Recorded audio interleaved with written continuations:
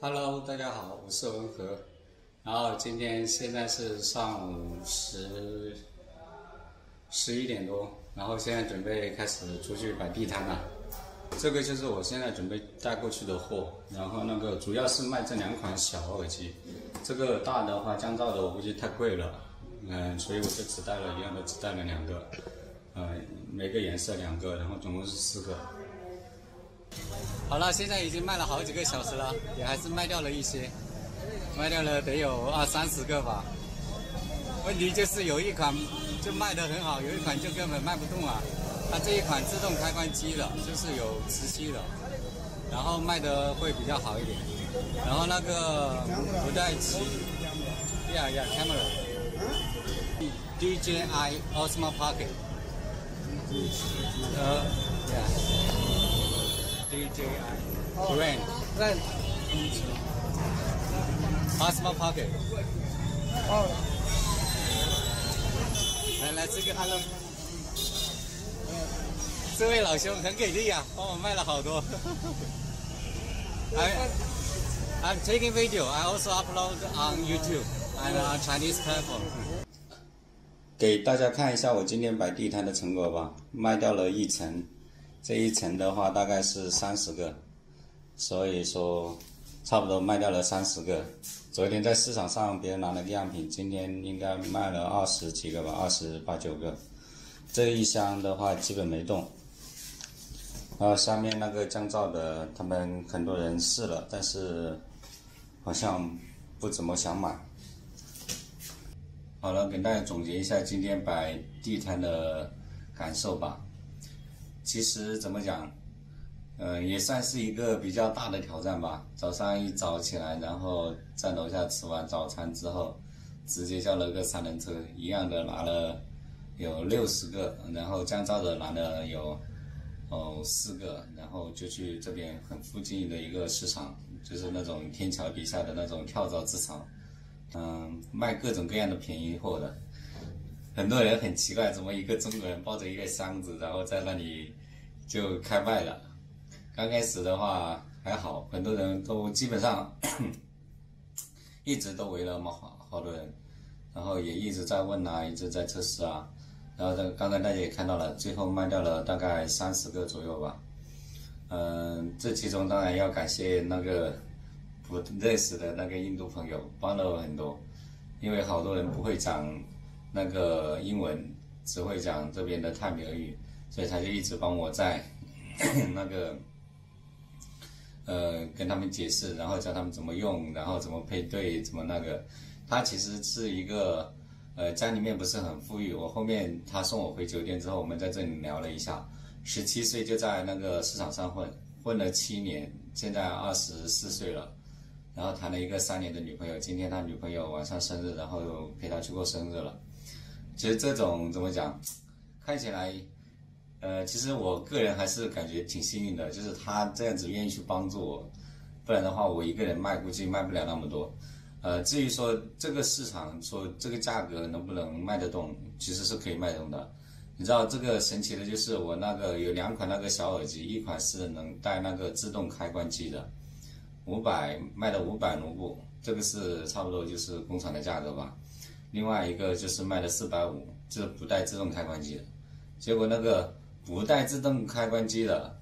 就没人要，最后是强行卖了一个。什么叫强行卖了一个嘞？就是一个大概二十多岁的小伙子，就一直跟我磨，因为我卖四百五，他一直跟我说你三百卖我一个吧，三百卖我一个吧，然后跟我磨了两个多小时，我跑到哪里他就跟到哪里，跑到哪里就跟到哪里，后面我实在受不了了，我说。那实在不行，三百五卖你一个吧，然后就卖给他了。就唯一那一款卖掉的一个就是卖给他了，其他全部都是卖的那个自动开关机的，虽然贵一点点，但是他们他们都是选择那一款，而且偏爱黑色，其他两个颜色红色跟蓝色，红色卖了一些，蓝色基本上没卖，就卖掉了一两个，所以所以大部分都是喜欢用。嗯，黑色还是，嗯，怎么讲？那个降噪的话，他们虽然很多人试了，但是太贵了。我卖两千，差不多人民币两百块钱，他们都觉得太贵了。呃，有些人估计也不是很懂吧，所以我也没期待着把那个卖掉。所以这就是大概这个过程吧。至于说摆的过程当中，嗯，你说一个外国人在这边摆地摊会不会很麻烦？其实我刚开始也有心理准备的，会不会被城管赶啦？会不会被什么地头蛇给强行收保护费啊？嗯，城管倒好像没有看见，然后有那些穿制服的，然后有过来看一下，然后就走了。嗯，应该是那种维持那种治安的吧。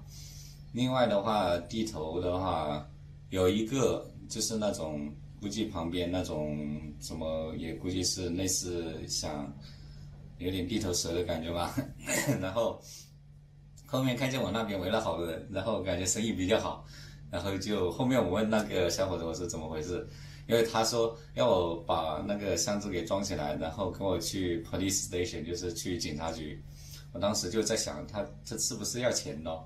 然后后面我就问他，他说不是，估计是看见你这边生意比较好，然后就，呃，有点嫉妒，然后他不想让你弄了，然后他说你去对面去搞。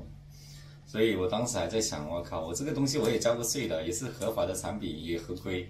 虽然说外国人卖的价格会比较便宜，但是应该问题没有什么大不了的吧？啊，反正中间你说有会不会感觉到，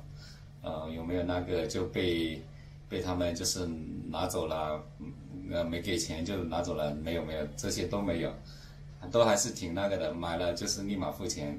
而且我有些人当然会说要不要打个折，我都没有同意，我就是五百那个就唯一那一个，呃，三百五，然后给了那个小伙子，另外就是今天我帮我搞了一天的那个小伙子，后面他说他要一个，我又给他三百块钱，给了他一个，呃，三百卢布就是三十块钱人民币嘛。啊，就送了一个十几二十块钱的人情，啊，一天跑下来，其实感觉很神奇吧？其实我个人感觉肯定是很累的，然后早上吃完早餐之后，我就在那里站了六七个小时，一直站到下午差不多四五点钟才过来，才回酒店。应该又是下雨，一会儿下雨一会儿下雨，你想一下，我抱着一个箱子，妈的下雨了，我又躲到桥底下，然后桥底下又在人家那个呃档口。然后人家又赶你，然后我又雨停了，我又得跑出来，跑出来，然后我卖个一两个小时，又下雨，又得跑回去，就搬这个箱子从这里跑到那里，从那里跑到这里，然后他们就一群人就跟着那里，一一会儿跟到这里，一会儿跟到那里，哎呀，后面卖到三四点的时候，我有点烦了，然后我就坐到那个水果，就是一个卖水果，就是那个新鲜果汁的地方，我就坐在那里，然后就不动了。哎，各种情绪感觉又上来了，我靠，怎么，我觉得怎么怎么会这样子嘞？但是还好吧。然后现在是怎么搞嘞？其实我那个小伙子说他明天出摊，他明天他会有一个档口，他说要我去他档口去卖，然后我给他一点租金，一百块钱一点人民币，一百块钱一点。他说他帮我卖，然后顺便那个。但是我现在就是我今天晚上纠结了很久，就是。就是我这个货到底要不要这么处理掉？因为我算了一下，如果我这样子处理的话，我基本上要亏一半。就是我本身的货值两万多，加上运费关税，现在是呃三万多，三万多。我现在这样子卖的话，我估计只能回一万多，估计还不到一万五，就是要亏掉一半多一。所以我现在想的就是考虑的就是两点：第一点，明年要不要过来做？如果明年要过来做的话，我这个货干脆就。发到朋友那里，然后先让他放放一段时间。就是我最近就是在头条上有认识的一些新德里啊，包括其他地方的朋友，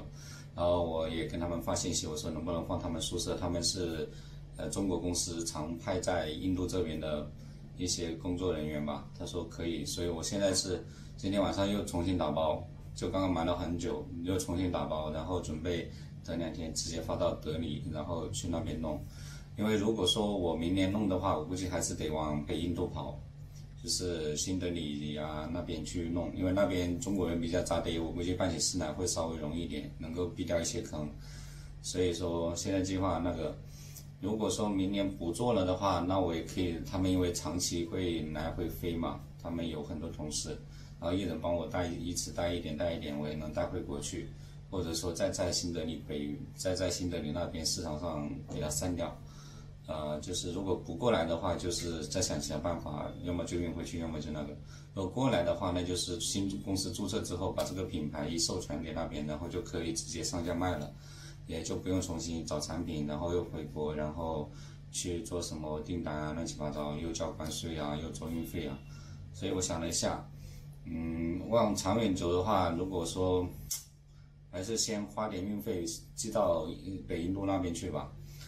至于明年怎么计划，还是要等好好规划一下，要找其他老板去谈一下。OK，大概今天就是这样子的啦，然后接下来也是这样子，所以说 这个酒店我是签到四号，我不知道他能不能提前退。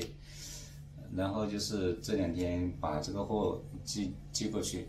另外的话就是开始往北印度那边跑了，去那边考察一下，因为那边有很多工厂。也有很多公司，很多中国人在那边做了很久，所以去那边看一下吧。OK，就这样子了，拜拜。